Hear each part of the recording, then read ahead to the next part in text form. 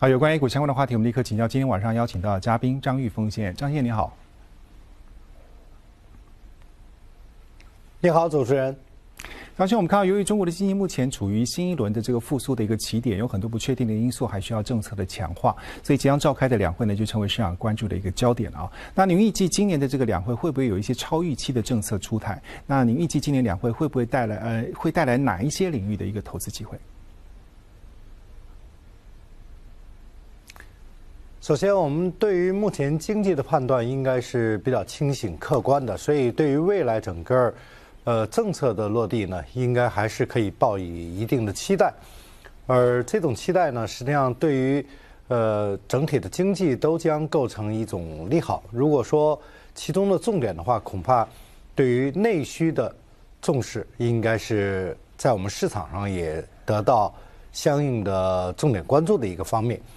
那么内需如果能够稳定恢复，应该说对于中国经济的持续稳定。将构成最为积极的一种影响，同时对于其他行业以及其他方面呢，我们相信也会有更多的政策来出台。呃，从经济结构的转型方面，那么一些在经济结构转型过程当中，未来具有高成长性的行业，应该也会得到市场整体的重视。是，那么另外今天呢是 A 股二月份的最后一个交易日，我们看到虽然指数走出了一个深 V 的一个走势，但两市成交大概只有近七千五百亿元的水平。那么总结整个二月份，沪指的走势相对比较坚挺，但是仍然没有办法有效的收复三千三百点大关。那更别提这个创业板指数呢，整个二月份累计下跌百分之五点八。那您预计进入三月份沪强深弱的这种格局，是不是还会持续下去？我们认为，在三月份呢，整体市场沪市和深成指都会呈现出一定的表现，尤其是呃双创的指数，在经历了充分的调整之后，应该会有更好的表现。这主要基于几方面的原因。首先呢，呃，目前产生的这种变化呢，更多的是基于呃在前期涨幅的一种正常的技术调整。我们知道，在一月份，整体沪指的涨幅是。达到将近百分之六的水平，而创业板指的涨幅甚至一度啊将近百分之十啊。那么，所以呢，在二月份产生一定的调整，也属于技术上的一种正常的调整。而在进入三月份之后，经历了充分调整的创业板指，我们相信还会有一个比较好的表现。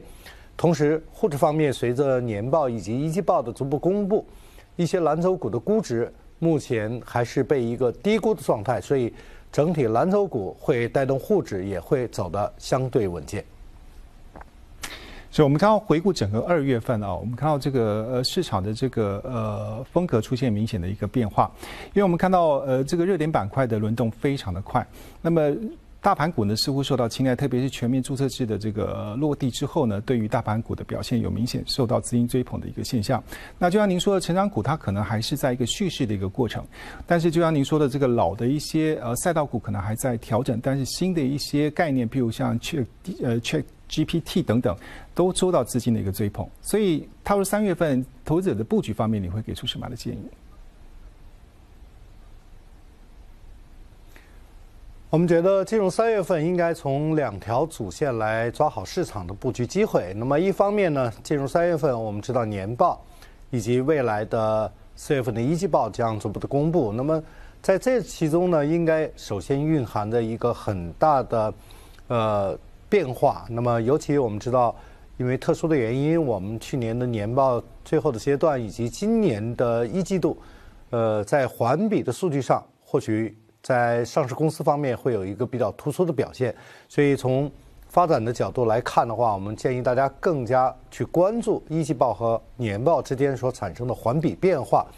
那么其中呢，更多的可能会体现为一些在估值上，